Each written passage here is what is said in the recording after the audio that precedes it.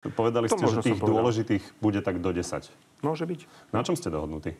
Mm, práve to finalizujeme a chceme, aby tieto zásadné zmeny sa urobili čo najskôr. Takže ešte tento rok sa bude výrazne meniť ústava. Myslím si, že bolo by to správne. A na čom ste dohodnutí? No, nebudem hovoriť, lebo kým sme není dohodnutí na všetkom, nie sme dohodnutí na ničom. Čo sú aspoň témy, ktoré chcete riešiť?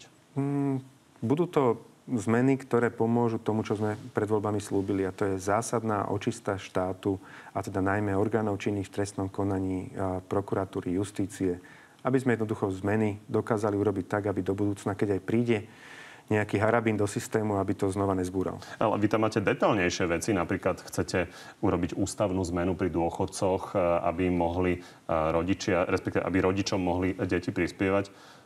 To bude neskôr? Hovorím, kým sme nie dohodnutí na všetkom, tak nie sme dohodnutí na ničom. Prvá vlna bude v každom prípade justícia a spravodlivosť. Mala by byť. Na telo s Michalom Kovačičom v nedeľu o 13.00 na Markíze.